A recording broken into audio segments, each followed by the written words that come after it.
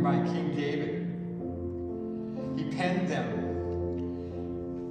after the high priest Nathan had come to him and confronted him with his sin with Bathsheba and the murder of her husband.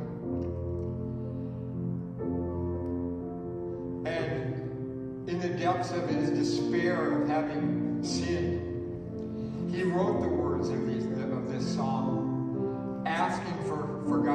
forgiveness.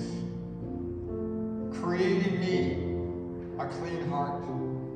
Renew me. Restore me. And so those were the words that we sing today as we ask the same thing in our sins. To cleanse our hearts and to renew us. And we can know that through God's grace and mercy given to us by His Son Jesus Christ, we are restored. We are renewed.